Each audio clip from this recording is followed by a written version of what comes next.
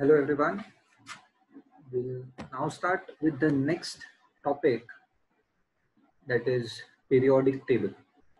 Okay, now uh, I'll just give you a gist of what the chapter is all about. Okay, the initial part of the chapter is about history of uh, the periodic table and uh, later on we will study the existing periodic table. Okay, now I hope uh, whenever you have studied chemistry, you have come across this word, it is uh, periodic table. Uh, what is this uh, table all about is till now there are many many elements which are present in the universe or in the world. Now if I want to study each and every element separately, okay, it is just an impossible task. It is just an impossible task because different different elements, different properties, different chemical reactions, बराबर तो और chemical reactions करने का कोई limit नहीं So if I assume that all the elements which are present in the world are completely different from uh, in every aspect, तो वैसा नहीं होता है अभी इसका एक स्मॉल एग्ज़ाम्पल सिर्फ़ मैं तुमको देता हूँ तो तुमको समझ जाएगा। जैसे for example we have seen the reactivity series okay तो रिएक्टिविटी सीरीज़ में what we observe is potassium and sodium are very very reactive okay now if you try to study the properties of potassium and sodium na potassium and इनका कुछ कुछ properties similar है। अभी why do I say it is similar? I'm not saying it is exactly the same. They are similar. They, जैसे both of them are soft metals. They are very very soft.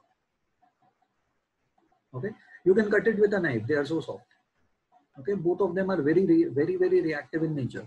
बराबर They react directly with the oxygen present in the air. अगर तुम उसको पानी में डालोगे तो तो सीधा सीधा स्पॉट हो जाएगा. So the fundamental over here is that when they are similar in nature, और इसके जैसे और भी एलिमेंट्स होंगे, जिनका प्रॉपर्टीज़ सोडियम पोटेशियम से सिमिलर हो सो सिमिलर हो सो the better way to study the elements will be that I group them together.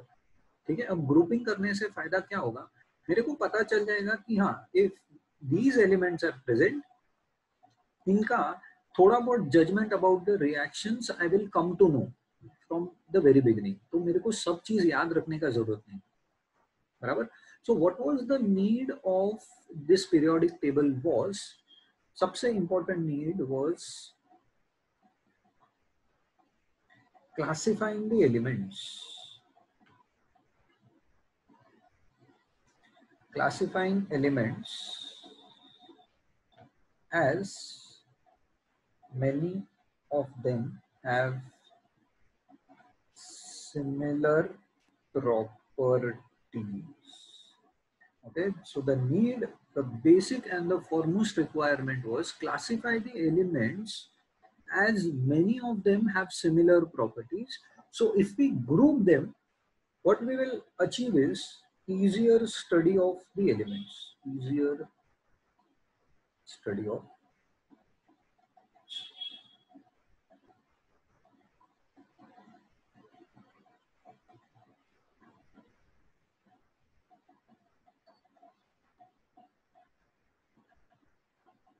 okay and plus i have a very good idea of what this element is all about if i'm grouping them together okay so that was the entire need of making or classifying your elements ठीक है अब ये जो classification है ये process had begun much earlier let's say in the year of 1800s okay वहाँ से ये क्लासिफिकेशन चल रहा है।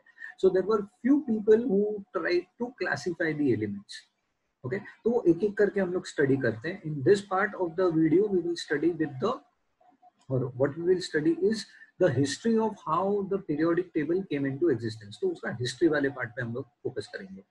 तो उसमें the first person who tried to classify the elements was Dobereiner okay now let's see what he did now this is uh, this is the story of 1800s ठीक है तो वहाँ uh, उस वक्त there were hardly few elements which were discovered let's say 20 30 elements discovered and उसके बाद uh, आगे जाके जैसे 1900s आया तब about 60 70 elements were discovered तो at that point of time अभी there were there was even no clarity of how the exact uh, structure of atom looks like and बहुत कुछ clarity नहीं था so जितना नॉलेज उनके पास था उनसे वो लोगों ने स्टार्ट किया क्लासिफाई करना so what did Dobereiner do is he arrange the elements in अभी तुमको याद क्या रखना है वो मैं तुमको बता रहा हूँ that Dobereiner arrange the elements in increasing atomic weights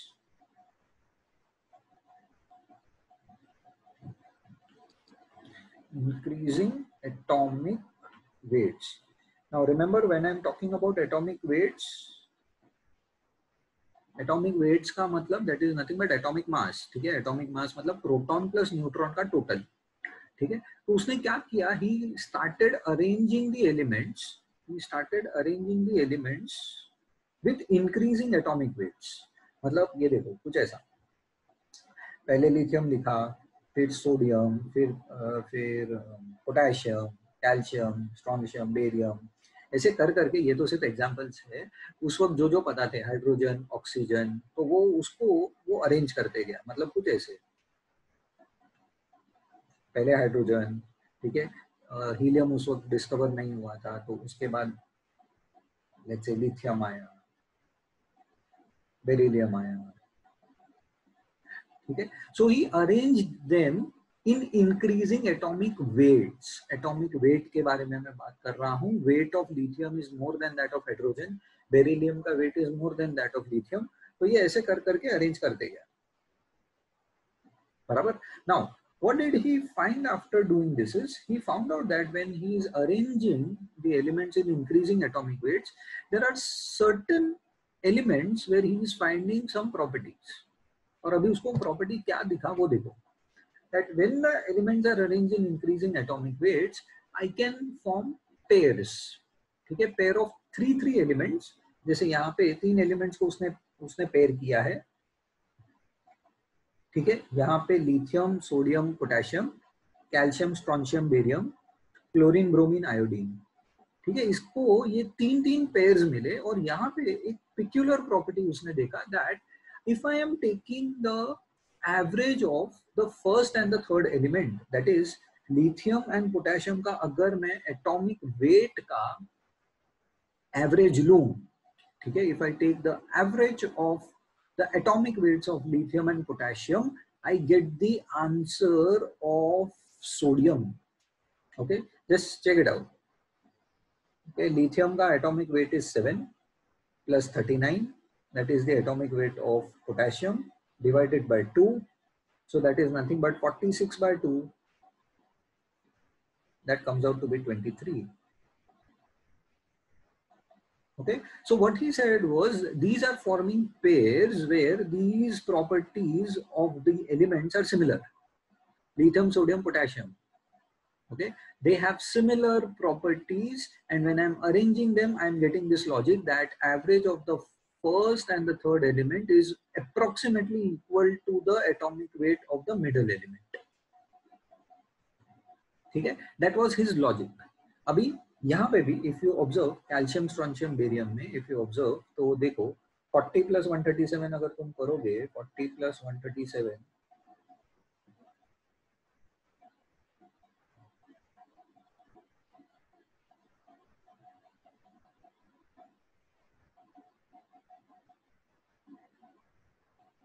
upon 2 अगर ये किया so the answer is roughly about 177 by 2 177 by 2 अगर करोगे तो it is nothing but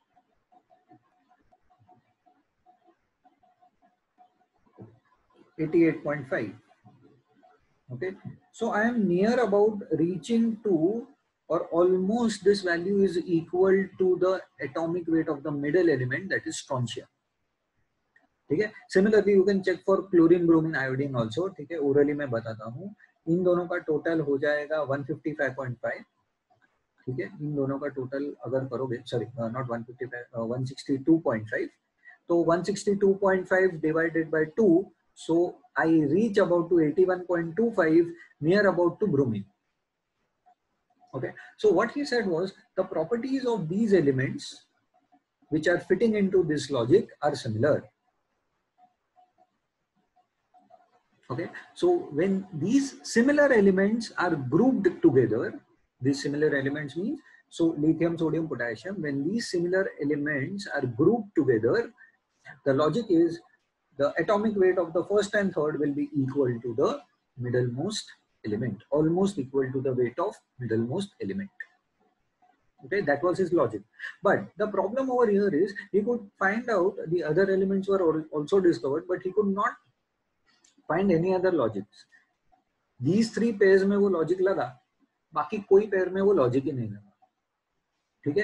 And when he try to group them और when he try to fit up this logic तो unsimilar और non similar elements were getting group together ठीक है? तो वो लॉजिक कहीं पे भी और बैठा ही नहीं, उसको सिर्फ़ ये तीन पेयर मिले।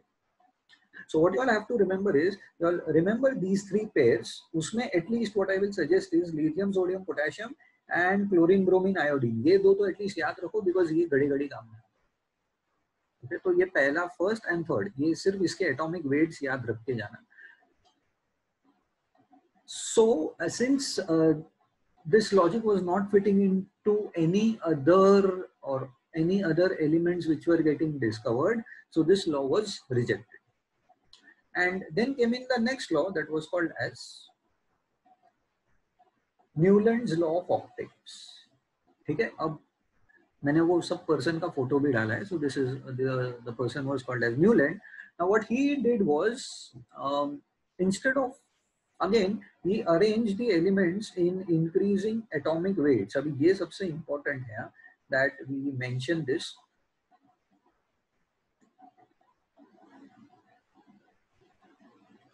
even Newland arrange the elements in increasing atomic weights अभी ये देखो, ये जो तुमको दिख रहा है ये जो उसने पेयरिंग किया है यहाँ पे, और जो एलिमेंट्स उसने लिखा है, ठीक है this is the table that he had made तो उसने देखो कैसे बनाया ही। Arrange the element in increasing atomic weights बराबर? And what he found out was कि every eighth element every eighth element is repeating the properties of the previous element मतलब आठवां element जो आएगा the eighth element which comes up it shows the property of the first element ninth element shows the properties similar to that of the second element tenth element shows the properties similar to that of third element okay now at that point of time the noble gases were not discovered okay so if you try to relate it to the current table so see how it goes पहले hydrogen आया helium discovered नहीं था so lithium beryllium boron carbon nitrogen oxygen then comes fluorine ठीक है? तो now see what he said was hydrogen and fluorine have similar properties and yes they do have similar properties कैसे? Hydrogen non metal fluorine non metal hydrogen forms H two fluorine forms F two both of them are diatomic in nature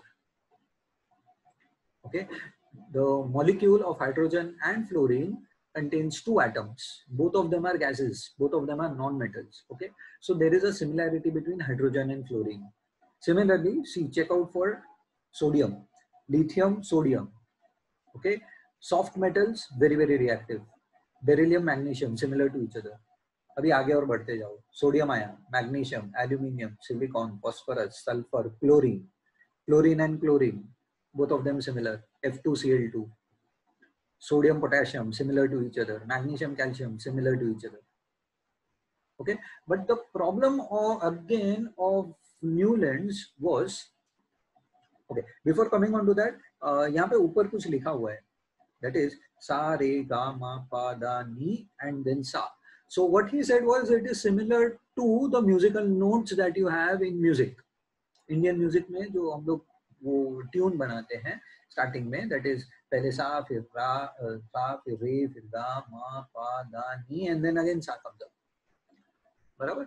So he related it to the musical notes so he found out that like the musical notes even the elements show the similar property that is every eighth element shows the property similar to that of the first element okay now the problem over here was after calcium calcium तक तो ये logic सही चला.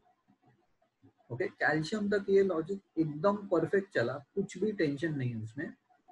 But after calcium after calcium the law started feeding ठीक है, अभी कैसे fading है? देखो फॉस्फोरस एंड मैंगनीज ये दोनों ऊपर नीचे आ गया। फॉस्फोरस एंड मैंगनीज दोनों का कोई लेना देना नहीं। फॉस्फोरस नॉन मेटल है manganese is a metal sulphur के नीचे आया ना गया।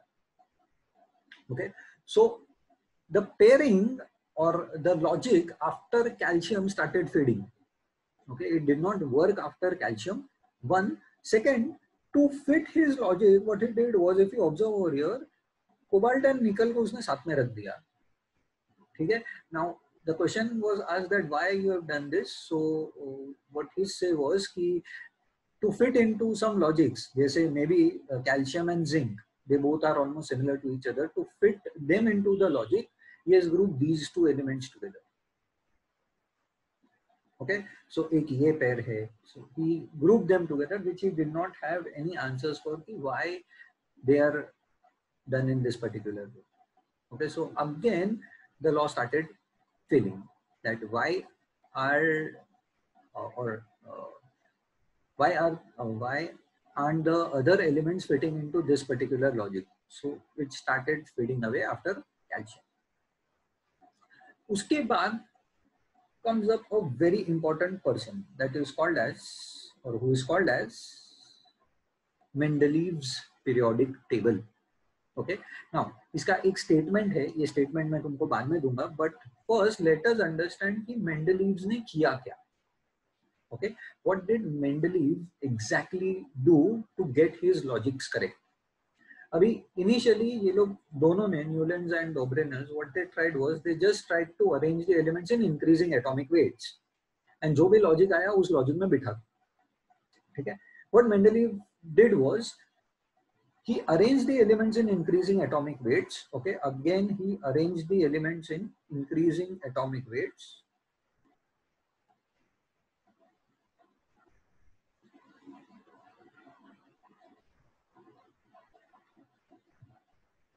But along with increasing atomic weights, he did a very, very important thing.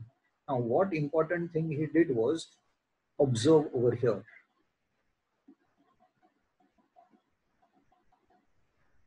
ये पार्ट बराबर से ऑब्जर्व करो ठीक है यहाँ पे एक्चुअल में what what is written over here is at in the top row it is R two O R O R two O three R O three R two O five RO3, R2O7.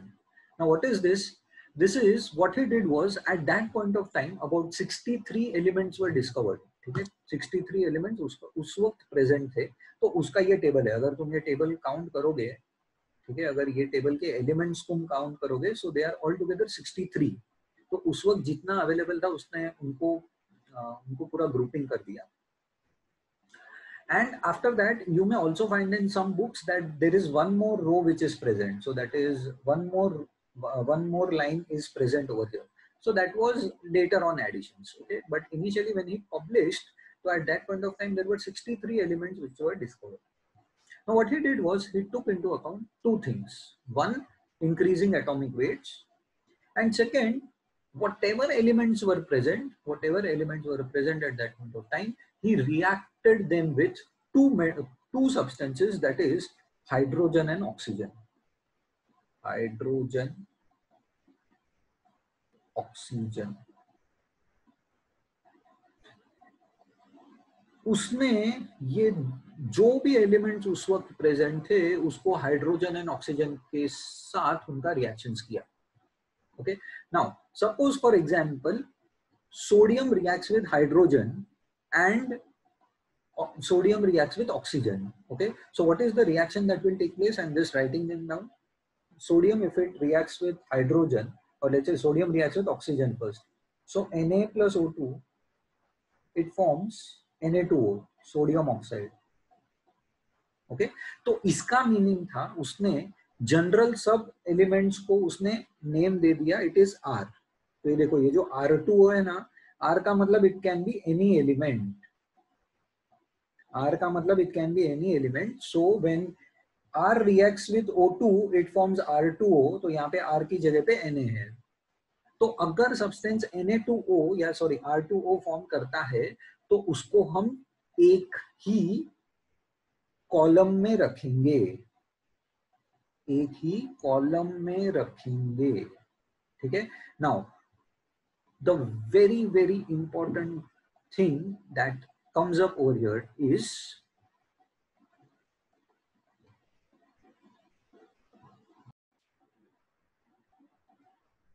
let's start with the next topic that is Mendeleev's periodic table one of the very very important periodic table. And few logics of this table were carried forward in the modern periodic table too. So first let us understand this entire table or what did Mendeleev do to make up this entire table with whatever elements were discovered at that point of time. Now, um, what Mendeleev did was he again took the logic of arranging the elements with increasing atomic weights. Okay, जो Newlands and Dobrynier's law of triads में हमने देखा that is increasing atomic weights. He arranged the elements with increasing atomic weights, but he also did one very important thing that he reacted each and every element which were known at that point of time with hydrogen and oxygen. Okay? So he reacted them with hydrogen and oxygen.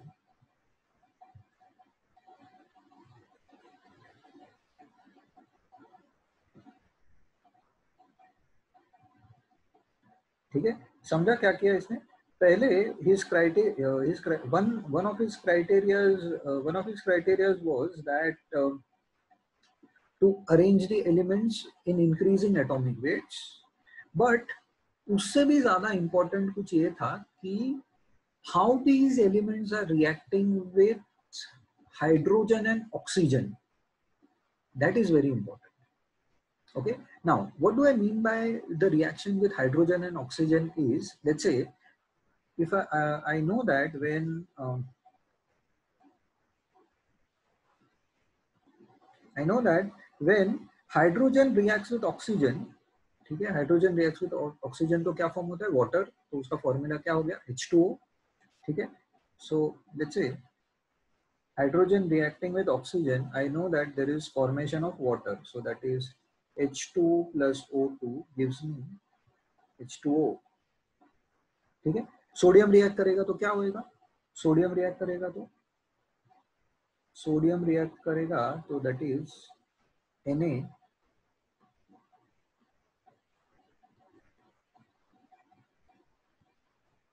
Na reacting with O2 so the substance which will be formed is nothing but Na2O sodium oxide ये हमको पता है okay. Similarly, potassium reacting with oxygen K2O बराबर? Magnesium reacting with oxygen magnesium oxide that is M G O and calcium जब react करेगा, तब calcium oxide CAO zinc भी देखो जिंक बनाएगा zinc oxide Z N O okay similarly let's say chlorine when reacts with hydrogen chlorine और hydrogen जब react करेंगे तो HCl फॉर्म होगा सिमिलरली मैग्नीशियम जब हाइड्रोजन के साथ रिएक्ट करेगा तो हाइड्रोजन क्लोराइड फॉर्म होगा that is HF okay So all those elements, okay, all those elements which have similar chemical properties will be grouped together or will be kept together. That was his logic. Okay.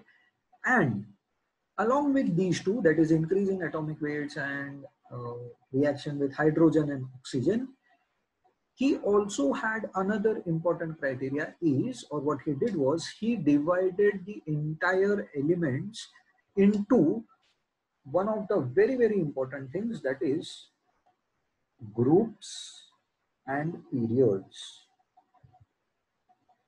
Okay?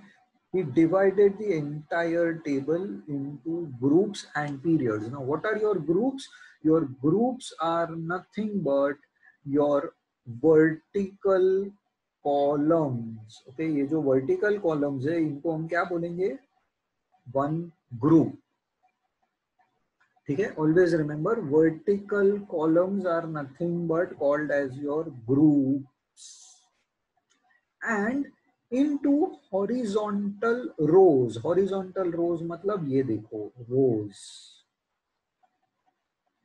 ठीक है? Excel में अपना file कैसे बनता है?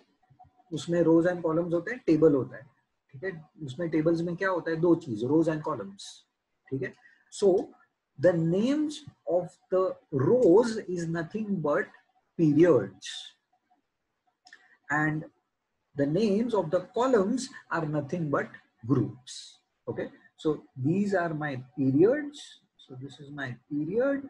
And the vertical one this is nothing but called as your group okay so if you observe hydrogen sodium lithium potassium all belong to one group upar niche they belong to one group and in one row you will observe you have lithium beryllium boron carbon nitrogen oxygen getting this part तो उसका criteria क्या था सबसे important hydrogen oxygen के साथ reaction होगा। उसके बाद arrange the elements in increasing atomic weights and arrange them in groups and periods okay now some very important things that Mendeleev achieved which with his table were something like this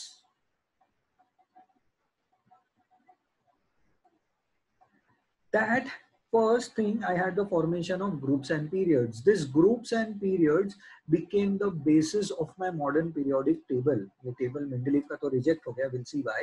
But जो मेरा नया और आज का present modern periodic table है उसमें भी you have groups and periods मतलब rows and columns okay he arranged the elements with similar chemical properties into one group or rather he grouped all the elements with similar chemical properties together, ठीक है? उसका एक believe था कि अगर chemical property similar है, कोई भी एलिमेंट्स का I should place it in one group only okay इसके लिए सोडियम के नीचे you have the presence of potassium magnesium के नीचे you have the presence of calcium okay क्योंकि इनका chemical reactions hydrogen and oxygen के साथ सेम है।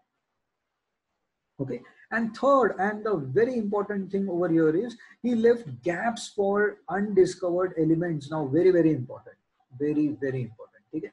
What he's what he had a view and the vision of that right now there are only few elements which are which are discovered. In future if new elements are discovered then where should we place them? Okay. So he kept play he kept the places in his table itself. Not only that there were few elements which he predicted that they will be discovered in the future and उसका properties भी उसने predict कर डाला जैसे for example if you observe over here यहाँ पे there is a gap here there is a gap here there is a gap ये सब gap दिख रहे हैं ठीक है? इसमें से ये तीन एलिमेंट्स का, ये तीन एलिमेंट्स जो यहाँ पे है दैट इज़ एक यहाँ पे, एक यहाँ पे और एक यहाँ पे, ठीक है? These three elements which are of three places which are left blank he predicted that some element will be discovered okay whose atomic mass will be between 40 and 47 okay and he predicted the properties also क्यों वो predict क्यों कर पाया? Because he knew that they are belonging to this group और ये group का property same होना चाहिए। The three elements which were discovered in future which Mendeleev had had said कि ये एलिमेंट होगा और उसने उसको उनका नाम भी दे दिया। मतलब एलिमेंट डिस्कवर नहीं हुआ है, लेकिन what he said was they will be discovered in future and उसका नाम मैं आज ही दे रहा हूँ। मतलब a child is not born but the person is giving the name and he is describing the qualities of that child right now. Okay? So the three names that we have to remember is or the elements which were discovered in future were Eka, boron Eka, boron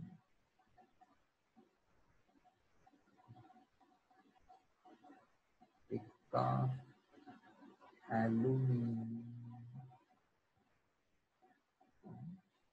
एक का boron एक का aluminium and एक का silicon okay now what is this एक का boron एक का एल्यूमिनियम एंड एक का silicon is this name were given by Mendeleev ठीक है, उसने ये नाम दे दिया कि जो एलिमेंट फ्यूचर में डिस्कवर होगा उसको, उसका नाम मैं आज दे रहा हूँ दैट इज़ इक्का बोरॉन, इक्का इक्का एल्यूमिनियम एंड इक्का सिलिकॉन, ठीक है?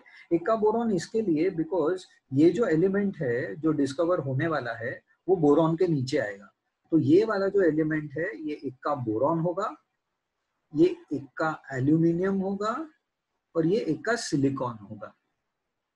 गेटिंग दिस पार्ट ये इक्का, ये होगा इक्का बोरॉन, इक्का aluminium a silicon. Okay. Now,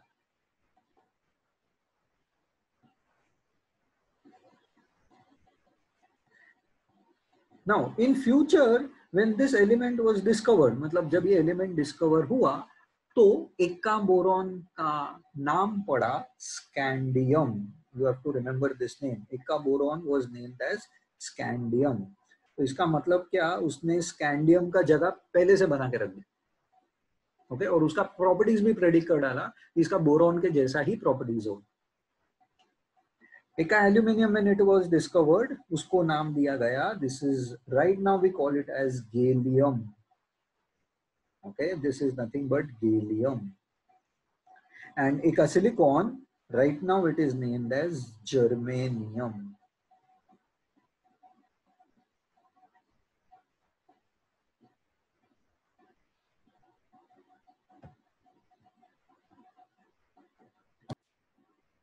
okay तो इसका इसका मतलब क्या हुआ? इसका मतलब ये हुआ कि उसने स्कैंडियम गेलियम जर्मेनियम का प्रॉपर्टीज़ पहले ही प्रेडिक्ट कर डाला।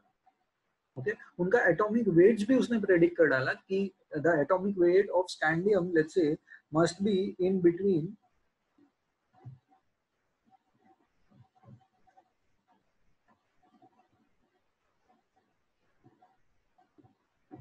the atomic weight of scandium must be between 40 and 47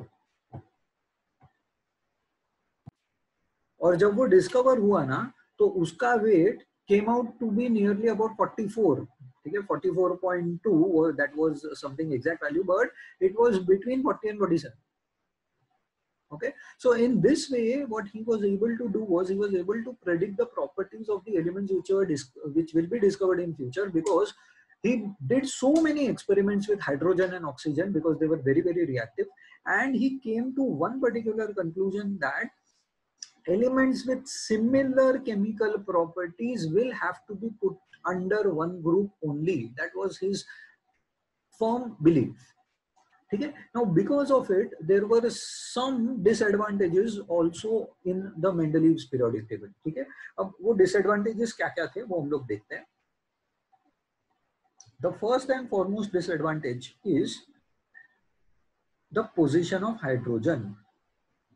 That is, there is no fixed position for hydrogen. Now the problem is, hydrogen को उसने देखो कहाँ पे रखा हाइड्रोजन को उसने रखा है लिथियम के ऊपर सोडियम के ऊपर sodium is a metal potassium is a metal but hydrogen is a non metal ठीक है नाउ हाइड्रोजन का properties they are also similar to fluorine and chlorine fluorine chlorine से भी हाइड्रोजन का प्रॉपर्टी सिमिलर है but hydrogen का properties कुछ कुछ सोडियम पोटेशियम से भी सिमिलर है. Now we did many experiments and he tried to justify where और he was where to put hydrogen but finally he landed up putting it above sodium only okay but उसका position can be over here also chlorine के ऊपर also और chlorine के ऊपर also ठीक है? इसके लिए मॉडर्न पीरियोडिक टेबल में भी हाइड्रोजन का पोजीशन फिक्स नहीं है, उसको हम दो पोजीशंस पे कंसिडर करते हैं और या तो उसको एकदम ही अलग पोजीशन दिया है क्योंकि हाइड्रोजन का प्रॉपर्टी सोडियम पोटेशियम से भी सिमिलर आता है और फ्लोरीन क्लोरीन से भी सिमिलर आता है। Okay next and the foremost important thing was the position of isotopes now this became the biggest disadvantage of Mendeleev's periodic table. ठीक है? What do you mean by isotopes isotopes are those elements having same atomic number but different mass number same atomic number but different mass number ठीक है वो elements जिनका atomic number same है but mass number different है. And if Mendeleev is arranging it according to the atomic weight और atomic mass hydrogen should have three positions protium deuterium and tritium तीनों के लिए अलग पोजीशन होना चाहिए। बराबर? But at that point of time the isotope discovery was only not done that's why it is impossible for him to get all these logics बराबर? Now since I, as I told you, that he was a firm believer in the reactions or the chemically similar elements to be together, he placed certain uh, certain heavier elements before the lighter elements. Matlab, if you see over here, ये देखो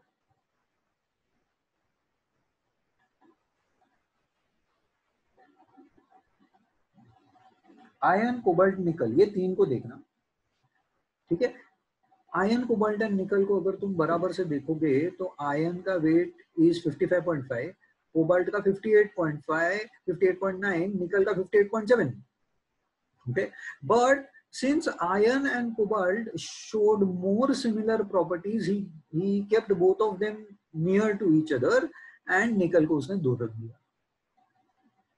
ठीक है? He compromised on that he compromised on the atomic weights over here because these two elements were resounding chemically similar okay now some groups that he had formed were also anomalous अभी ये देखो, क्या मैं बोल रहा हूँ? Copper and potassium अभी copper and potassium as such दोनों में सिमिलैरिटीज ज़्यादा नहीं है. Both of them are metals that is okay. Potassium is a soft metal. Copper is relatively very hard metal ठीक है? बट क्या हुआ होगा? May be because hydrogen and oxygen के साथ जब रिएक्शन किया होगा, तब जो ऑक्साइड बना रहेगा that is cupric oxide and potassium oxide वो दोनों सेम रहेगा। इसके लिए उसने इन दोनों को साथ में ग्रुप में रखा हुआ। Okay so these are some unusual pairs which which we can see over here so what what we uh, say is there were few limitations of the Mendeleev's periodic table. And the statement that Mendeleev gave of the modern periodic table that you have to remember that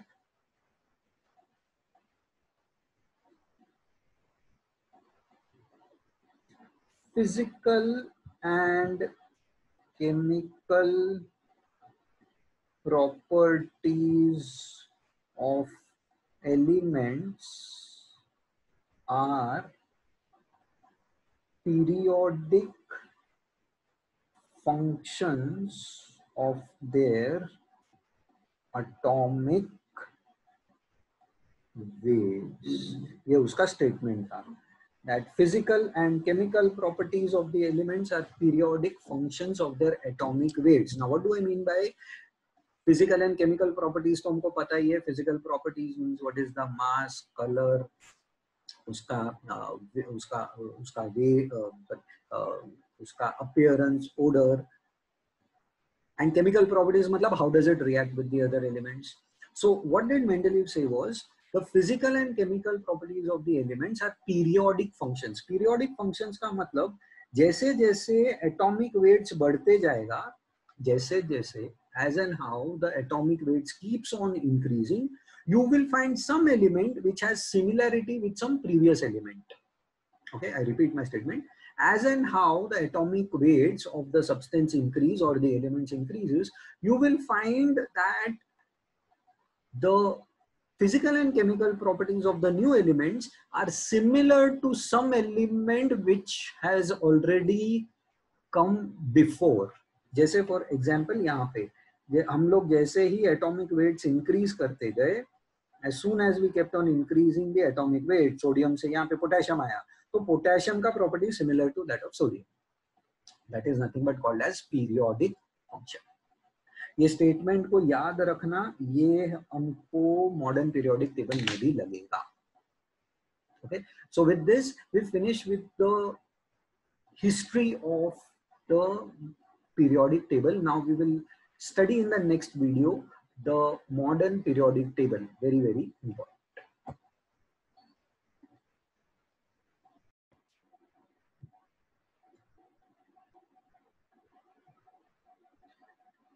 let's start with the next part of the chapter that is modern periodic table.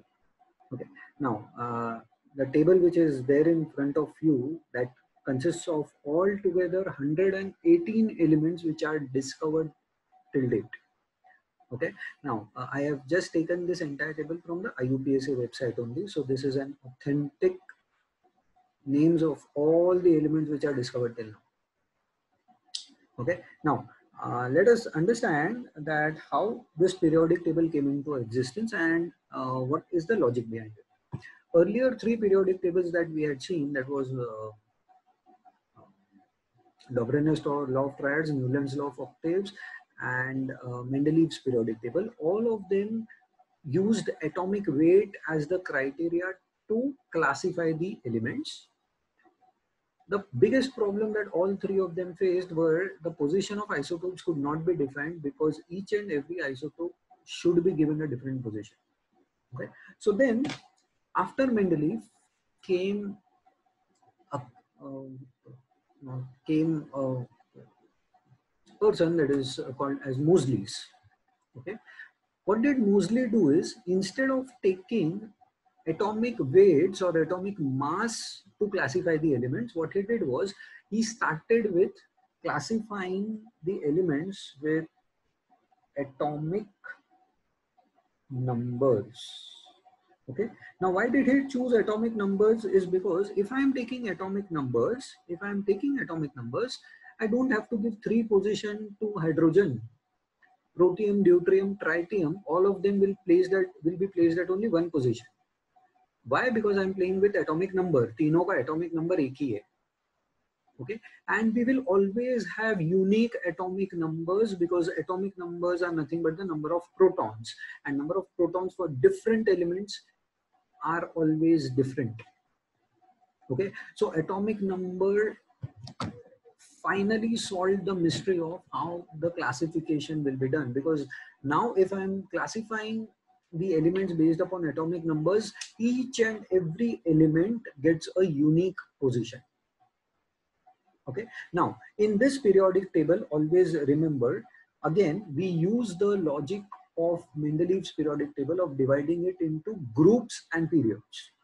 Okay. Now, all together, if you observe, there are 18 groups. Say, once last, if you observe, this is number 18. Each of the group is given a separate number. What are my groups? Groups are my vertical columns. Okay? And periods are nothing but my horizontal rows. So horizontal rows. Okay? Now in this modern periodic table always remember we have seven periods and 18 groups. Okay seven periods that is one two three four five six and seven. Okay these two are called as lanthanide and actinide series okay but they actually belong in between this. Okay so if you remember the, or if you observe over here the lanthanoids just enlarge this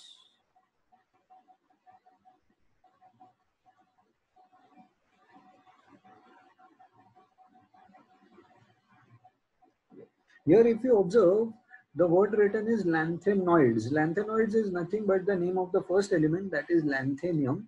So this entire series is called as a lanthanide series, which actually should be placed over here. But since this disturbs the normal periodic table, it has been given a separate position. Lanthanides and actinides.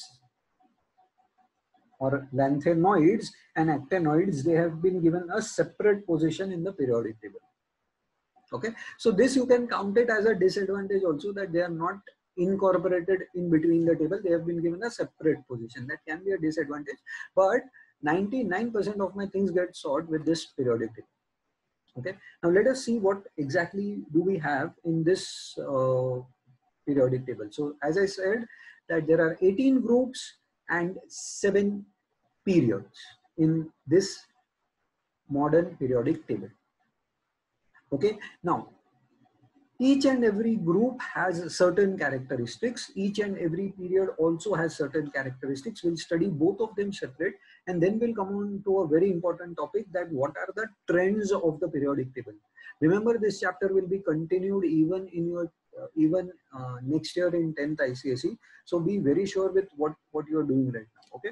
So let us first see the groups okay? Now as we uh, as we saw that there were all together 18 groups and in that there are few groups who have certain names that names you will have to remember that is group number 1 अभी group number one में देखो कौन कौन है group number one में you have hydrogen lithium sodium potassium, rubidium, all these elements. These elements have been given a special or these this group has been given a special name that is called as alkali metals. Now why alkali metals? Alkali metal because alkalis are what? Which form hydroxides when they dissolve in water. Matlab, when sodium reacts with water, Na reacts with water, it forms hydroxide so these elements, when they react with water, they form hydroxide. Hence, the name given to them is nothing but alkalis. Okay, so they are called as alkali metals.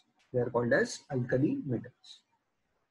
Group number two are alkaline earth metals group number two में देखो कौन कौन आता है? Group number two में you have beryllium magnesium calcium strontium ये सब elements okay they are called as alkaline earth metals many of them are found in the earth crust okay? Now, these elements do not easily form hydroxides and they are less reactive as compared to that of your alkali metals alkali metals are very reactive and they are soft metals okay they are very very soft metals and they can be easily cut with knife they are so soft and they are very very reactive Alkaline earth metals comparatively are less reactive as compared to that of uh, alkali metals.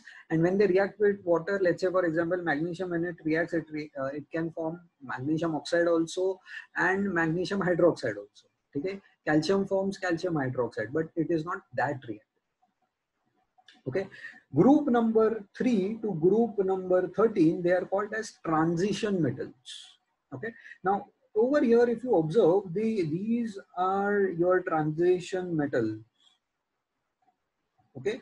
Many of your elements having variable valencies you will find over here. See this iron, copper okay? Uh, so atomic number of iron is 26 copper is 29 then you have uh, then you have silver then you have gold platinum. Okay? So all your metals or most of the metals who have variable valencies you will find in this transition uh, transition element group. So transition elements kahan se kahan tak hota hai that is group number 3 to group number 12 okay? Now in this group number 3 if you observe 57 से लेके 71 from 57 to 71 there is a lanthanoid series that I just mentioned earlier So this lanthanoid series, the first element is lanthanium and this actinoid series, the first element is actinium. If you observe, these are very, very heavy metals. Okay. For example, ये देखो ये uranium है. Okay. Uranium is one of the very, very important metals for your nuclear reactors. Okay.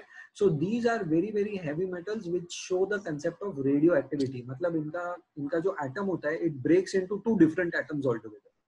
Okay, so these are all those elements that is of your actinoid series. Okay, then from group number 13 to group number 16 they are called as post transition elements मतलब ये transition uh, transition metals या तो elements मैंने यहाँ पे लिखा these are called called as post transition elements now here you will find all your non metals मतलब ये देखो ये सब तुम्हारे नॉन मेटल्स है boron carbon nitrogen nitrogen oxygen फिर सल्फ़र फिर बाद में germanium germanium is a metalloid aluminium is a metal silicon silicon again it's uh, it's a metalloid arsenic is a metalloid germanium is a metalloid so ये सब metalloids और non metals होंगे ना वो यहाँ पे मिलेंगे तुम्हें maximum okay group number 17 very very important group number 17 is called as halogens now what do you mean by halogens is halogens ka meaning hota hai they are salt formers they are salt formers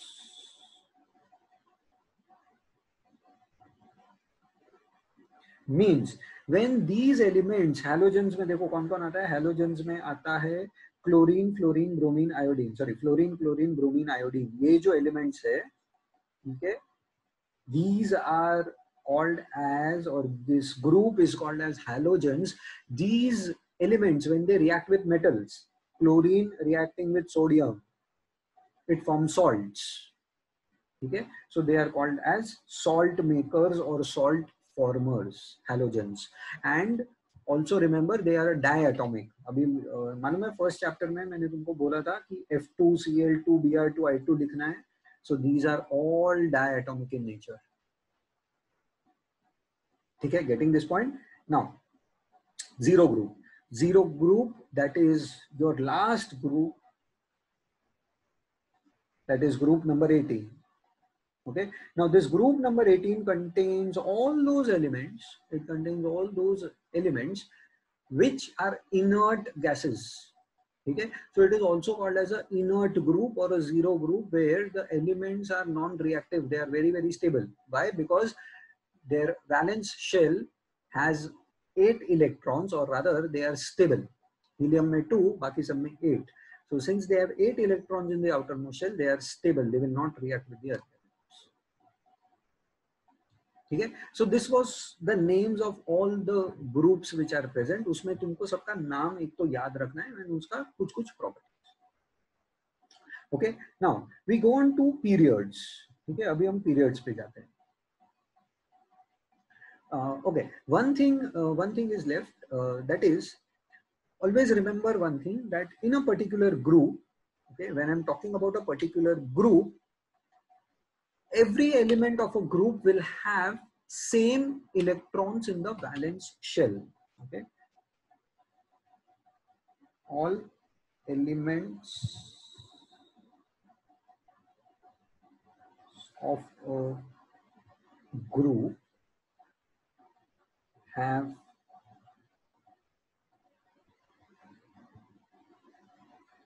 same number of electrons in valence shell.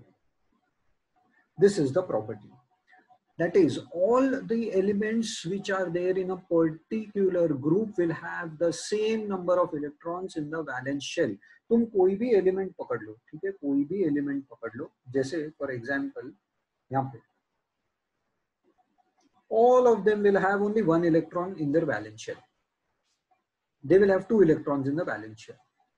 यहाँ पे they will have three electrons in the valence shell. Aluminium three, boron three we know till first twenty इसके लिए मैं उसका logic बता रहा हूँ and your study is restricted only up till first twenty elements okay after that the logic changes so right now only restrict up till twenty oxygen oxygen में you have six electrons you have six electrons in the valential sulphur के पास भी six chlorine के पास seven electrons in the valential chlorine के पास seven इन दोनों के पास एट एट इसके पास टू होता है because it only has one shell so always remember group number ठीक है? Group number I will give you all the logics in the last slide group number will always represent the number of electrons in the valence shell group number 2 2 electrons in the valence shell group number 1 1 electron in the valence shell 3 से लेकर 12 तक देखना नहीं because this are this is not in your study you have to study 1 2 and then directly 13 से लेके 18 तक because 3 से लेके 12 these are post 20 okay? I will give you all the logic in the last slide that how to find a group number and uh, the period number of a element from its electronic configuration मतलब अगर electronic configuration पता है तो मैं उसका group number period number निकाल सकता हूँ of first 20 elements okay चलो now let's see the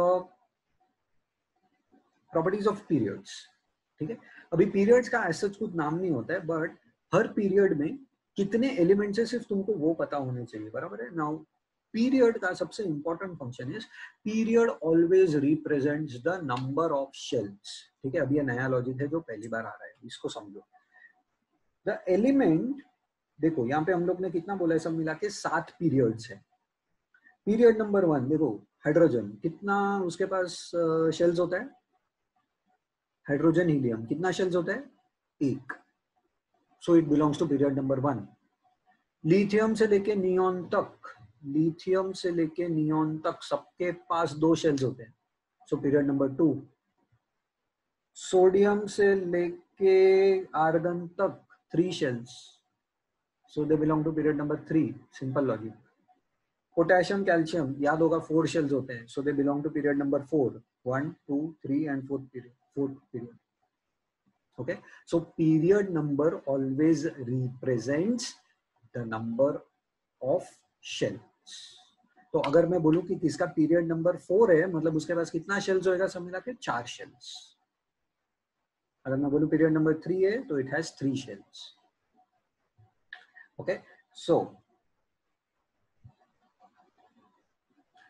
the number of elements in each period अभी ये याद रखना फ़र्स्ट में there are two second and third में एट फोर्थ एंड फिफ्थ में 18 elements and six and seven में 32 याद रखना, एकदम सिंपल है नंबर सब सेम है। पहले सिर्फ़ टू आता है।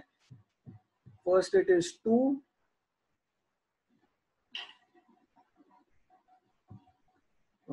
so first it is two then eight eight eighteen eighteen thirty thirty ठीक है? अब ये देखो, हम वेरीफाई करते हैं यहाँ पे। First period if you observe I have only two elements second and third period, one, two, three, four, five, six, seven, and eight eight elements.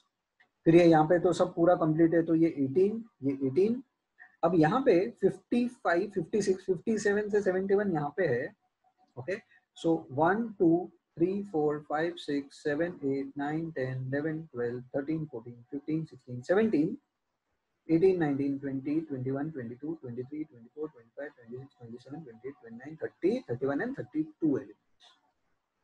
Okay. So period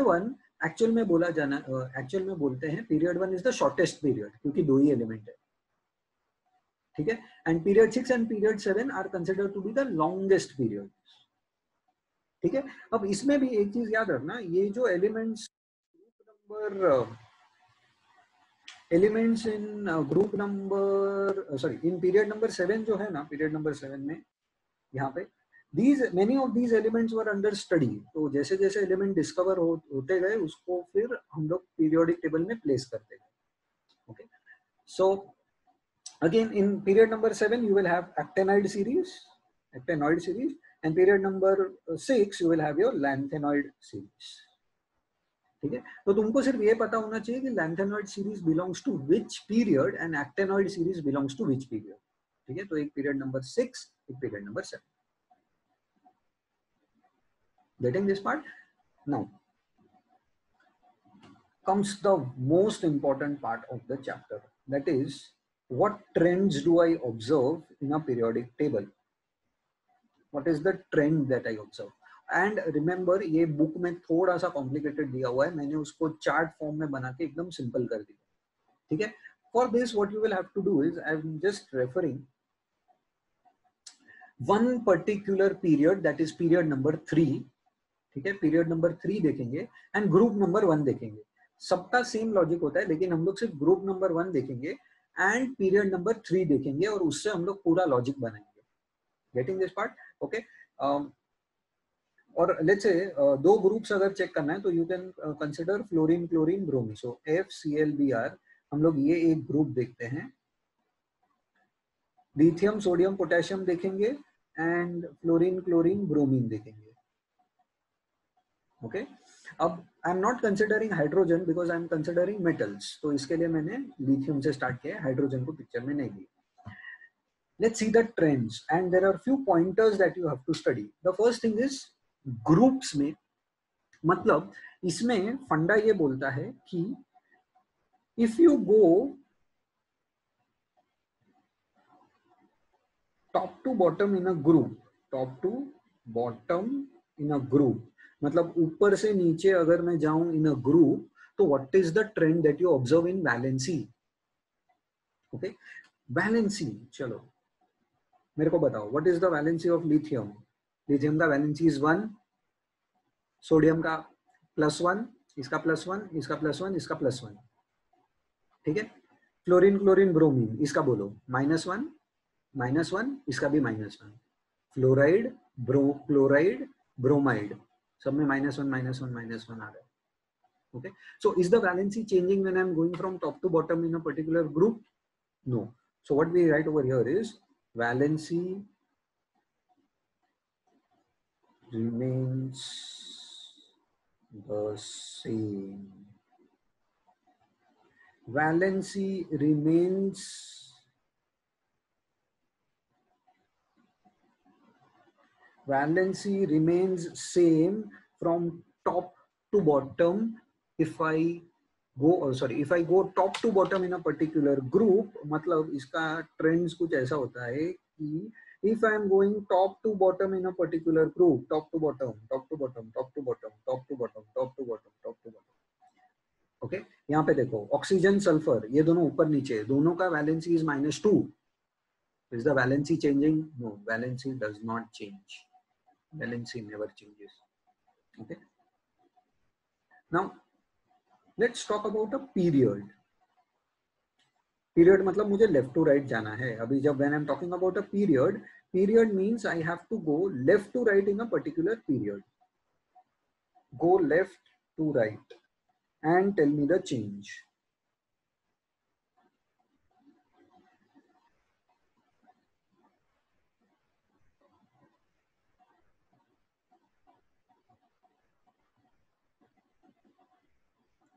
Okay so what is the what is the valency of sodium? Okay i ignore the sign right now. I just just writing the valencies okay? I'm not writing whether it's a positive valency or a negative valency. So the valency of sodium is 1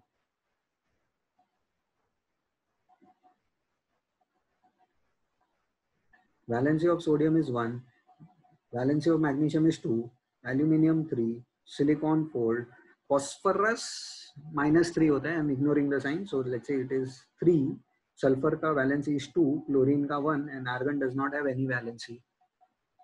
Okay? So what we observe is the valency is first increasing 1 2 3 4 then 4 3 2 1 so the valency first increases then decreases. Okay? I repeat valency i'm not writing the signs so valency first increases and then decreases okay because valency is what either some uh, some element will either donate electron or accept electron that is nothing but valency so i'm just looking at the numbers so numbers may valency first increases and then decreases if you are going left to right in a particular period okay तो यहाँ पे हमारा statement क्या आएगा यहाँ पे हमारा statement आएगा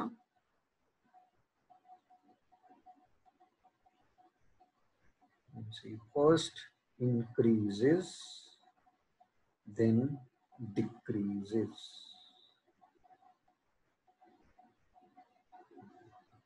Okay, next point to be counted, valence electrons. Valence electrons. Now, what do you mean by valence electrons? Valence electrons are nothing but the electrons which are present in the last shell. Okay, electrons present in the last shell. तो देखते हैं पहले group के लिए देखेंगे ठीक है I just uh, erase this off because I have to explain the other concepts also. So, chalo. Electrons in the last shell. Lithium के पास one, sodium के पास one, potassium के पास one, magnesium के पास two, calcium के पास भी two. फ्लोरीन के लास्ट शेल में there are seven electrons chlorine के लास्ट शेल में सेवन ब्रोमीन के भी लास्ट शेल में you will have seven electrons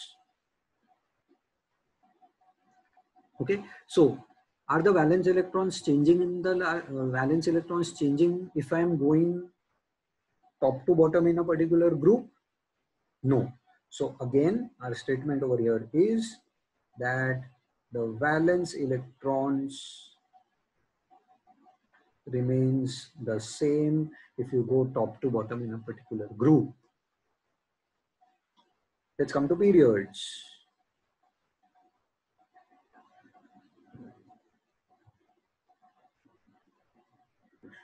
चलो पीरियड्स देखते हैं। पीरियड्स के हर हर एलिमेंट के लास्ट शेल में कितने इलेक्ट्रॉन्स होंगे? Sodium 281 so one electron in the last shell two electrons three electrons in the last shell 283 ये 284 तो ये 4 ये 285 होगा, ये 6 होगा 7 ए होगा एट होगा। Electrons in the last shell see the trend increasing. So what i say is, increases by 1 so here what you will write is this increases by 1 okay? Let's come to the next point that is metallic and non-metallic properties. Now these are very well related to your um, number of electrons in the valence shell. Now let's say metallic and non-metallic property. First again i have to see down the group. Okay? If i'm going down the group matlab comparison क्या करना है यहाँ पे? Comparison ऐसा करना है कि lithium sodium potassium में who will be more metallic कौन ज़्यादा मेटालिक होएगा? मैग्नीशियम कैल्शियम में कौन ज़्यादा मेटालिक होगा? Okay okay? तो इसका आंसर तुमको कौन देगा? इसका आंसर तुमको देगा रिएक्टिविटी सीरीज़ ठीक है? रिएक्टिविटी सीरीज़ में देखो potassium is more reactive than sodium के आता है, फिर एन आता है, फिर सी आता है, और फिर एम आता है. So who is more reactive potassium is more reactive than sodium मैं भी सोडियम पोटेशियम का का कंपैरिजन कर रहा हूँ तो potassium is more reactive than sodium calcium is more reactive than magnesium okay ये क्यों हुआ? Because potassium donates electrons more easily than sodium ठीक है? वो इजीली डोनेट कर देगा as compare to that of sodium इसके लिए potassium is considered to be little bit more reactive than that of sodium similarly calcium magnesium का comparison करोगे तो calcium will will lose electrons more easily as compared to that of magnesium. Hence, calcium is more reactive, or rather, what I say is it is more metallic than magnesium, and potassium is more metallic than sodium. तो हम लोग देख क्या रहे हैं नीचे वाला element is more metallic than the above element याद रखना, मैं पोटेशियम, कैल्शियम का कंपैरिजन नहीं कर रहा हूँ। ये पीरियड का कंपैरिजन होता है। मैं अभी ग्रुप का कंपैरिजन कर रहा हूँ। सो बिलो एलिमेंट मतलब ये वाला element potassium is more reactive than sodium and sodium is more reactive than lithium also ठीक है? अभी वो रिएक्टिविटी सीरीज़ में आया नहीं है but sodium is more reactive than lithium so what I say is metallic property increases as you go downwards okay? So, what i write over here is metallic properties metallic property increases as you go downwards.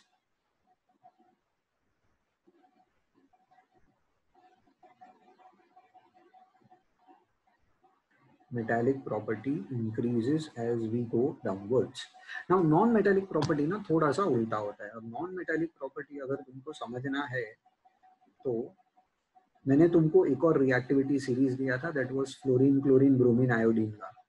ठीक है? Remember मैंने तुमको बताया था कि fluorine fluorine always remember this even if you don't know fluorine is more reactive than chlorine and chlorine is more reactive than bromine and bromine is more reactive than iodine always remember this why because again over here fluorine easily accept electrons as compare to that of chlorine chlorine accept electron more easily as compare to that of bromine क्योंकि यहाँ पे इनको electrons accept करना है तो fluorine easily accept करता है as compare to that of chlorine potassium easily donate करता है फ्लोरीन इजीली एक्सेप्ट करता है.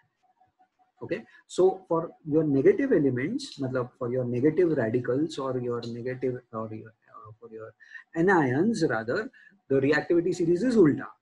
So that means what I say is fluorine is more reactive than chlorine, is more reactive than bromine, and it's more reactive than iodine. Or rather, what I say is the non metallic property decreases as we go from top to bottom. Non metallic property. Non non-metallic property decreases from top to bottom है now let's check for a period what happens to the metallic and non-metallic property okay let's come up over here इसको erase कर देते हैं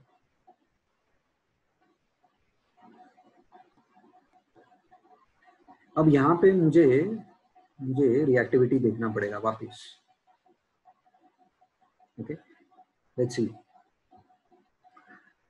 sodium versus magnesium who is more metallic of course sodium because sodium is more reactive magnesium is more reactive than aluminium क्योंकि aluminium magnesium के नीचे आता है reactivity series में।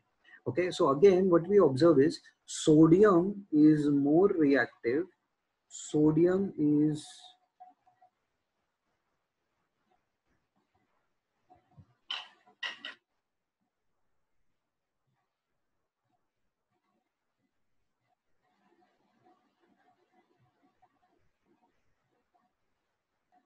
what I observe over here is sodium is more reactive than magnesium and magnesium is more reactive than aluminium. Okay, why? Because it easily loses electron. Sodium loses electron more easily as compared to that of aluminium क्योंकि उसको सिर्फ़ एक lose करना है, aluminium को तीन lose करना है, तो उसको ज़्यादा energy लगे. Similarly, always remember for your non-metals for your non metals always remember chlorine को कितना एक्सेप्ट करना है? एक। सल्फ़र को दो फॉस्फरस को तीन।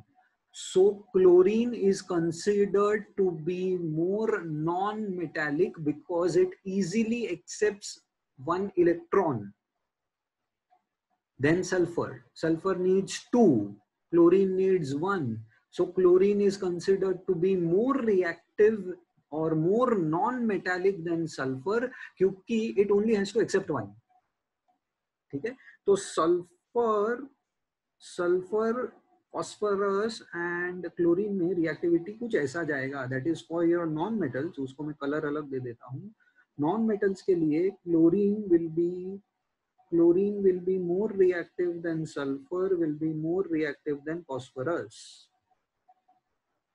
okay so what we see is what we see is metallic property ये ज़्यादा मेटालिक है क्योंकि ये ज़्यादा रिएक्टिव है ये उससे कम ये उससे कम so what is happening to the metallic character metallic मतलब मैं लेफ़्ट से right जा रहा हूँ ना I am going from left to right so the metallic character is decreasing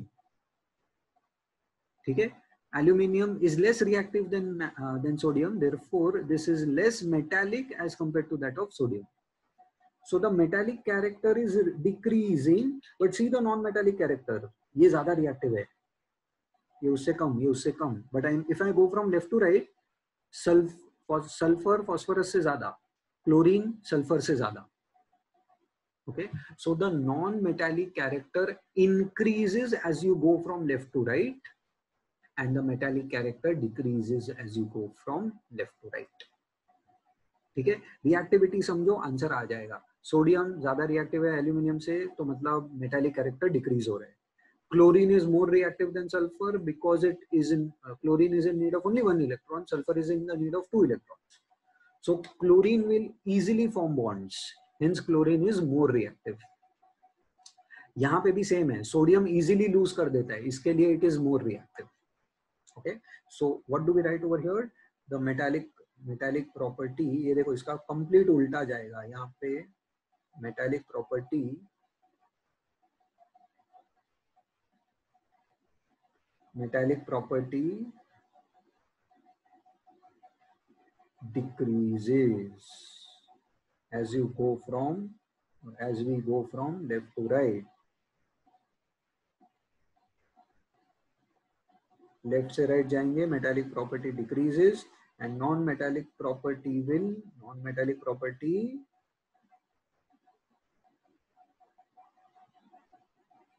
increases.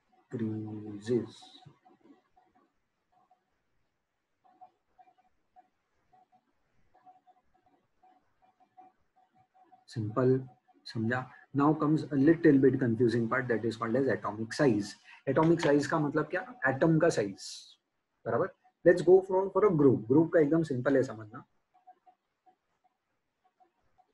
ठीक है अब Tell me this, periods का मैंने क्या बोला था? Periods were nothing but periods always represent number of they always represent number of shells. Okay, they always represent number of shells and groups का मैंने क्या बोला था? Groups groups मतलब they are your vertical columns बराबर vertical columns मतलब top to bottom जाना है अब let's see the periodic table यहाँ पे tell me this, if you are looking at the first group, lithium has how many shells? Lithium has, uska electronic configuration? Lithium ka electronic configuration is 2 comma 1. Li is 2 comma 1. Sodium is 281. Potassium को अगर मैं देखना चाहूँ potassium is two double eight one so what do you observe if you are going downwards अगर तुम नीचे नीचे नीचे नीचे जा रहे हो मतलब in a group if you are going downwards इसके पास दो शेल्स है, इसके पास तीन शेल्स है, इसके पास चार शेल्स है तो किसका साइज़ ज़्यादा होगा? ठीक है? सिंपल लॉजिक इसका तीन शेल्स है और इसका चार शेल्स है तो चार शेल्स में से फोर्थ वाले का मतलब पोटेशियम का साइज़ विल बी मोर बराबर? So if you are going down the groove, very, very easy logic, that is, if you go, if you go down the groove, the atomic size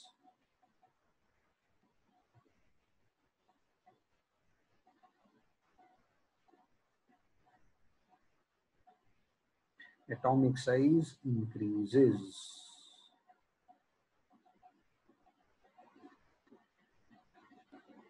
Increases. Other what I say over here is atomic size increases. So now let's check for a period. ठीक है period का मैंने क्या बोला था period मतलब you have to go from left to right ठीक है अब यहाँ पे सबका शेल्स चेक करते हैं ठीक है और सबका इलेक्ट्रॉनिक कॉन्फ़िगरेशन में लिखता हूँ, ठीक है इसका इलेक्ट्रॉनिक कॉन्फ़िगरेशन सोडियम का it is two eight one इसका टू एट टू इसका टू एट थ्री सिलिकॉन का टू एट फोर फॉस्फरस का two eight five two eight six two eight seven last में it will be 288. How many shells do each one have?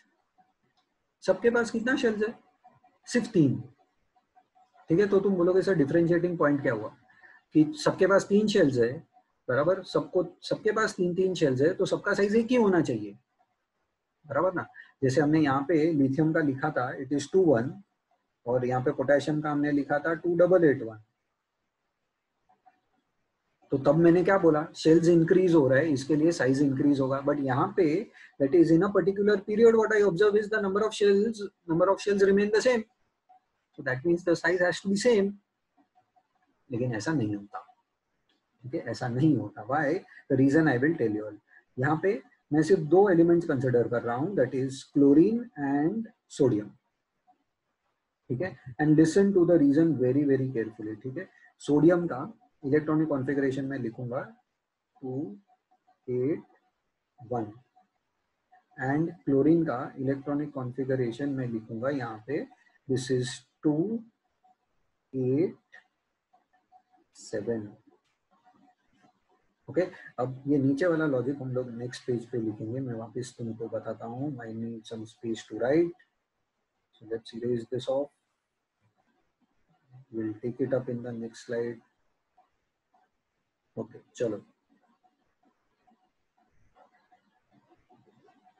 now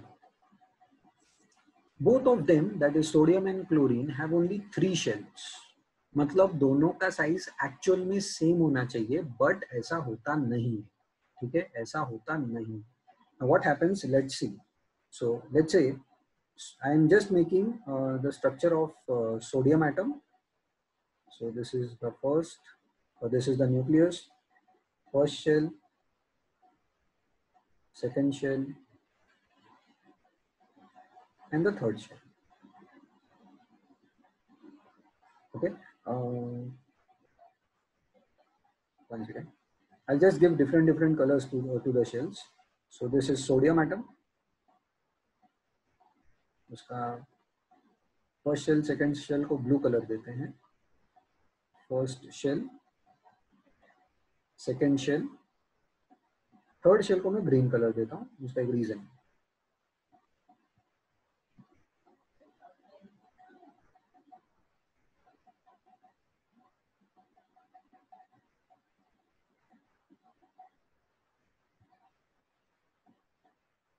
okay so this is the structure of sodium in a okay now let us uh, see the structure of chlorine ये chlorine का last shell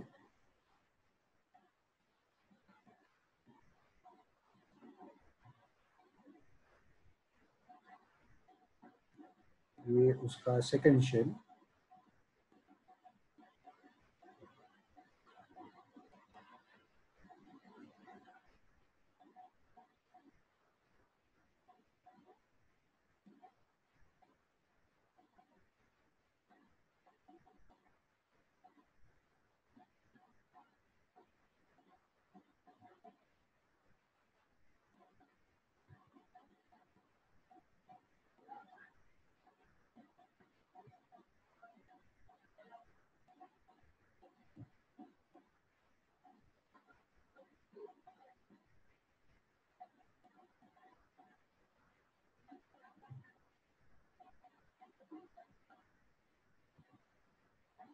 Okay, so let's say this is the structure of chlorine atom and this is the structure of sodium atom.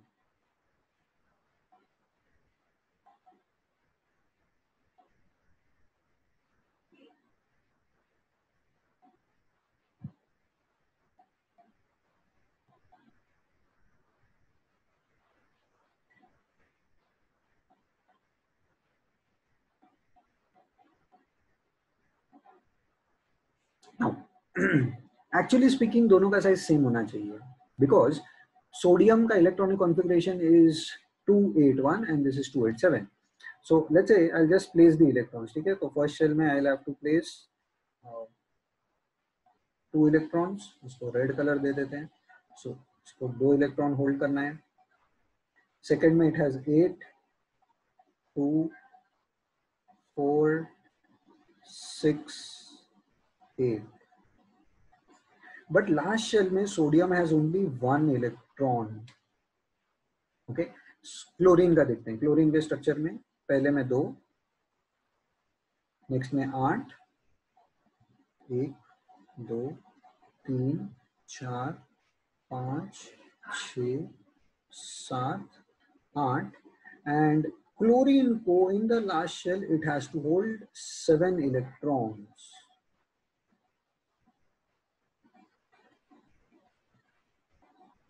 one two three four five six seven now here is the major difference okay अब होता क्या है that sodium has to hold Na has to hold only one electron in the outermost shell whereas chlorine has to hold altogether seven electrons in the outermost shell okay now remember when you have to hold the electrons मेरे को electrons पकड़ के रखना है बराबर तो वो force of attraction कहाँ से मिलेगा? फोर्स ऑफ़ अट्रैक्शन कहाँ से मिलेगा? फोर्स ऑफ़ अट्रैक्शन मिलेगा न्यूक्लियस से। मतलब ये न्यूक्लियस जब फोर्स ऑफ़ अट्रैक्शन इसको देगा, तभी तो these electrons are held by the nucleus बराबर? These electrons are actually held by the nucleus, नहीं तो फिर वो रिवॉल्व कैसे करेंगे न्यूक्लियस के अराउंड बराबर? So these seven electrons see over your sodium has to hold only one electron in the outer most shell but chlorine has to hold seven electrons in the outer most shell इसको सात hold करना है। ये दो, ये तीन, चार, पाँच छ और सात। Okay now since it has to hold seven electrons and sodium has to hold only one electron ठीक है? उन सबको पकड़ने के लिए you will require energy that the nucleus will require energy or it will require a force to hold all the nucleus together or to hold all the electrons together okay i'll just repeat myself sodium has to hold only one electron in the outermost shell in the valence shell whereas chlorine has to hold seven electrons in the valence shell so it will require more force to hold all those electrons. Okay? Now to hold seven electrons this i'm talking about one atoms as such there are millions of atoms. Okay? So to hold the seven electrons together okay what will chlorine do is chlorine will reduce its size. Chlorine will reduce its size वो अपना size थोड़ा सा छोटा कर देगा। और size छोटा करने से फ़ायदा क्या है? साइज़ छोटा करने से फ़ायदा क्या है? फ़ायदा ये है कि the force of attraction which is required is comparatively less मतलब ओरिजिनल साइज़ से अगर मैं खुद का साइज़ थोड़ा छोटा कर दू so the force of attraction which is required will be lesser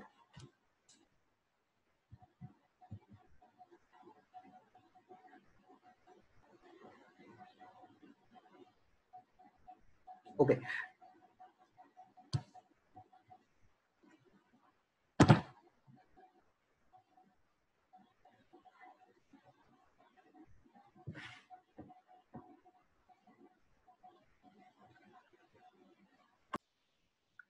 So let us see why the size of the atom of sodium is more than that of chlorine. Okay. Chalo, Fatapat we'll just make a small diagram of uh, the orbital structure of sodium and chlorine. Now what I'm doing is, I am only drawing the nucleus and the last shell. Okay. So let's say this is the nucleus of sodium. Okay, and this is the last shell. Last shell and this is the one electron which the sodium has in its shell. Similarly, chlorine का भी वही करता हूँ। ये chlorine का atom Cl and इसका last shell क्योंकि first two shells में दोनों के पास टू एट टू एट होगा। ठीक है? सोडियम के पास भी टू कमा एट एंड इसके पास भी टू कमा एट डिफरेंस यहाँ पे है। तो सिर्फ़ उसको ही बनाते हैं ठीक है? तो seven electrons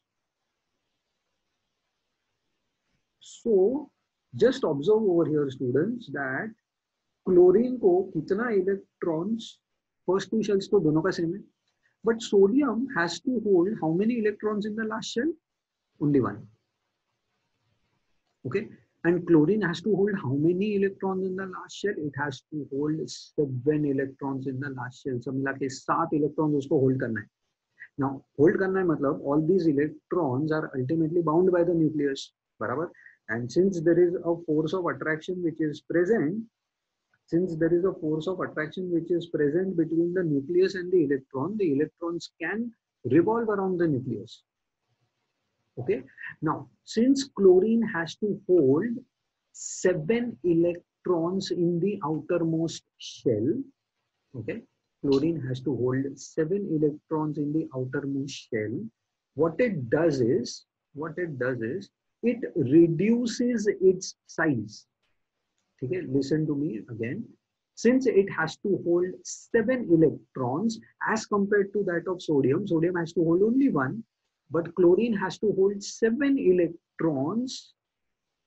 So what chlorine does is it will reduce its size as compared to that of sodium. वो वो अपना outermost shell थोड़ा सा छोटा कर देगा ठीक है? मतलब समझो सोडियम का अगर ये साइज़ है this is the size of sodium okay तो क्लोरीन का साइज़ उससे थोड़ा सा छोटा होगा।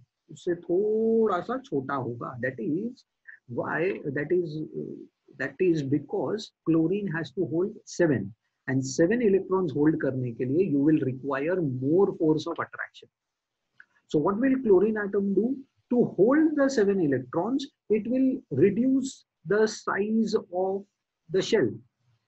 ठीक है? अब तुम सिंपली ये सोचो अगर तुमको ये समझना हो तो कि कोई ऑब्जेक्ट कोई ऑब्जेक्ट अगर तुम्हारे पास में है तो तुम उसको इजीली पकड़ सकते हो कि जो दूर है उसको इजीली पकड़ सकते हो। ठीक है? मतलब कोई object which is bound by a string if it is near to you is it easier to hold कि अगर वो दूर होता तो इजिली होल्ड कर सकते ठीक है? इसको और एक तरीके से अगर समझना हो तो let's say if a person is flying a kite ठीक है? If a person is flying a kite let's say person is somewhere over here मेरा पर्सन है, ठीक है? Is flying a kite is it easier for the person to hold or to fly a kite over here at this distance? कि यहाँ पे? कहाँ पे उसको इजी पड़ेगा? इट इज़ ऑब्वियसली पास में।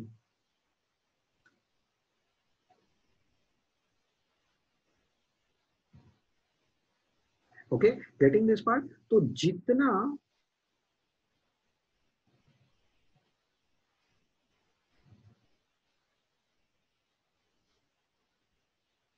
okay, getting this part so since chlorine had to hold seven electrons barabar so it will require more force okay it as compared to that of sodium तो वो क्या करेगा it will get it will reduce the size so that it can easily hold the seven electrons because now they are nearer and if they are nearer it is easier to hold all the seven electrons लेकिन sodium को क्या करना है सिर्फ़ एक ही hold करना है तो वो थोड़ा दूर भी है तो भी फ़र्क नहीं पड़ता getting this part. The reason exact reason is since chlorine has to hold seven electrons so it reduces the size so that it can hold all the seven electrons together. Okay? So what we say in this case is the atomic size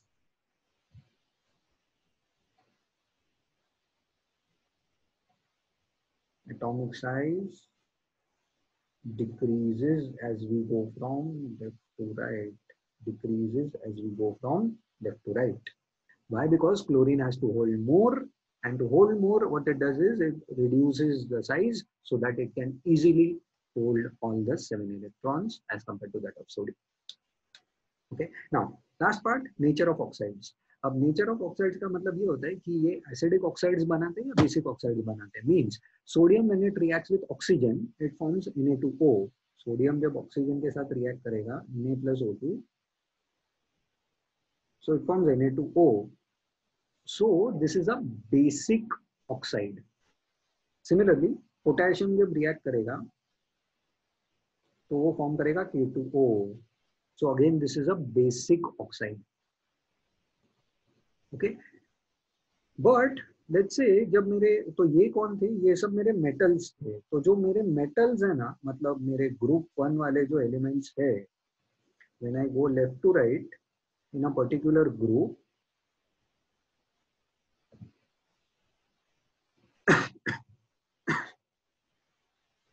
sorry, if i go top to bottom in a particular group, these form basic oxides. okay Similarly, uh, if you have, let's say, carbon, if you have, let's say, sulfur, sulfur reacting with oxygen, it forms sulfur dioxide. So that is a acidic oxide. Similarly, chlorine reacting with oxygen, it is Cl2O7. So again, that is a acidic oxide. So the concept over here basically is when metals react, they form basic oxides. Okay. And non metals form acidic oxide मतलब ये Na2O बनाएगा it is basic oxide this is also basic oxide so these two are bases and when i go down the group over here fluorine chlorine bromine okay they form acidic oxides because they are non metals chlorine जब react करेगा oxygen के साथ तो it forms Cl2O7 so it is a acidic oxide बराबर So metals over here, what happens is metals form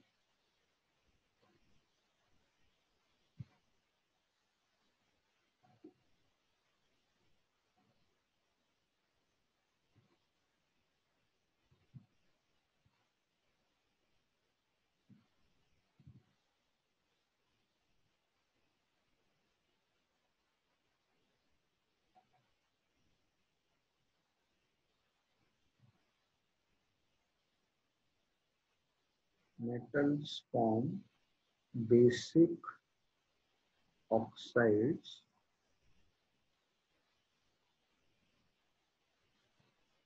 and non-metals from acidic oxides.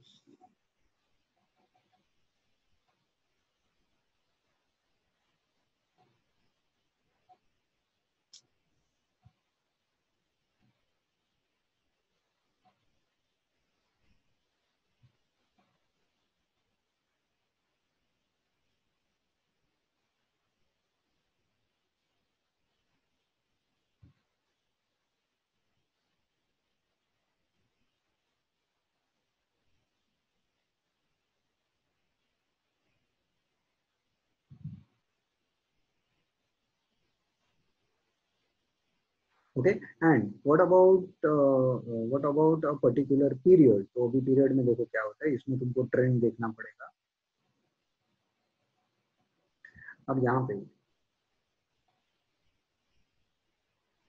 Okay let's see left to right sodium oxide basic magnesium oxide basic aluminium oxide basic and see ये क्या हो गया? Acidic sulphur dioxide acidic ठीक है? तो यहाँ पे basic है बट जैसे ही लेफ़्ट से राइट में जाते हैं it changes to acidic oxide aluminium oxide is actually amphoteric नहीं aluminium oxide is again amphoteric oxide तो ये बेसिक बेसिक ये amphoteric and then your you have acidic oxides so how do nature of oxides change? Nature of oxides change as goes from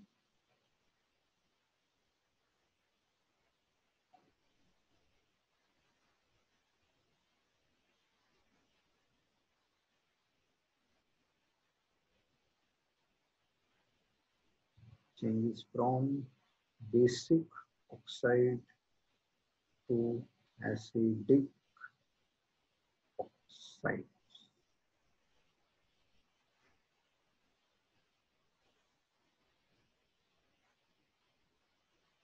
Okay, getting this part? Now, the last part of the chapter is, and remember this table, you will have to learn and write the table minimum five to six times so that you remember okay? Now the last part of the chapter is uh,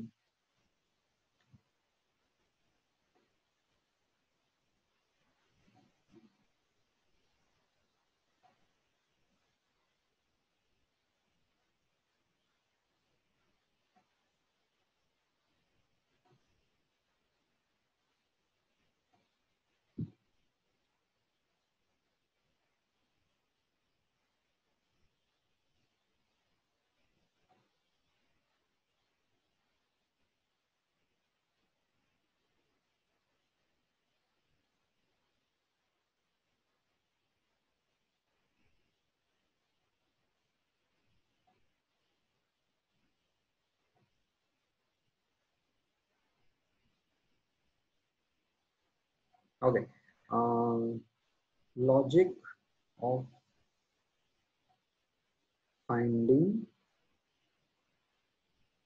groups and periods or rather the group number and the period number ये कैसे निकाल सकते हैं for example let's say you have sodium in A. How do I find its group number? And this is logic only for the first 20, हाँ उसके बाद नहीं. So how do I find the group number and the period number for sodium? ठीक है तो सबसे पहले मुझे उसका एटॉमिक नंबर पता होना चाहिए तो वो है 11 okay now then i will write its electronic configuration तो इलेक्ट्रॉनिक कॉन्फ़िगरेशन क्या है 281 तो 281 से मुझे क्या पता चला इसके पास कितना शेल्स है three shells So if it has three shells, तो पीरियड नंबर क्या हुआ इसका? Period number period three okay and valence electrons valence electrons कितना है इसका? वैलेंस इलेक्ट्रॉन्स वन सो इसका ग्रुप क्या हुआ? Group number is also one तो ये कहाँ पे बिलोंग करता है? It belongs to Group number one, period number three. Check the periodic table. Group number one, period number three, first, second, third. ठीक है सिमिलरली लेट्स से एल्यूमिनियम का अगर फाइंड करना है तो इसका थोड़ा सा लॉजिक अलग है ठीक है now what does the rule say is aluminium का इलेक्ट्रॉनिक कॉन्फ़िगरेशन देखो लिखो पहले aluminium A L this is 13 atomic uh, sorry electronic configuration atomic number is 13 electronic configuration is 283 तो पीरियड का तो चेंज नहीं होता है इट हैज़ थ्री शेल्स तो सीधा सीधा पता चल जाएगा थ्री शेल्स तो पीरियड नंबर थ्री ठीक है now if the valence electrons if the valence electrons the rule says that if the valence electrons are more than 2 if the valence electrons if the valence electrons are more than two okay तो क्या करना है simply अगर two से ज़्यादा है तो simply add ten to it add ten to get the group number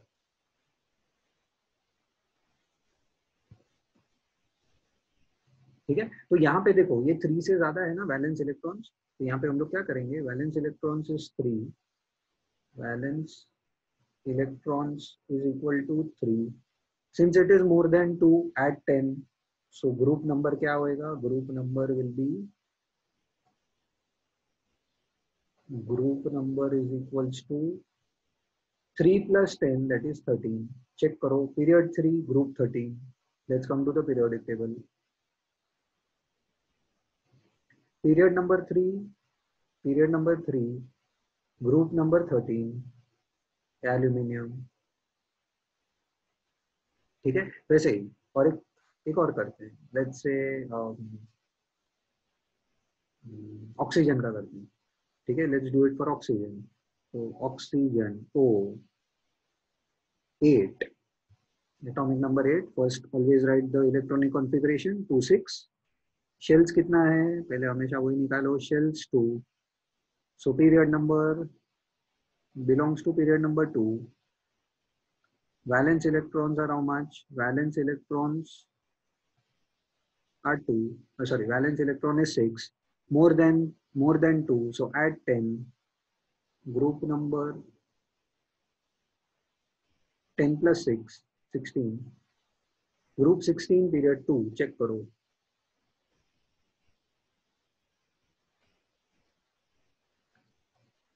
group number 2 so i am at group number 2 period number 16 this is oxygen ऐसे तुम किसी का भी निकाल सकते हो okay so you can take any of the elements and you can uh, learn this uh, logic okay but this is only valid up till the first 20 elements okay with this we finish off with the periodic table We'll soon see you with the next chapter.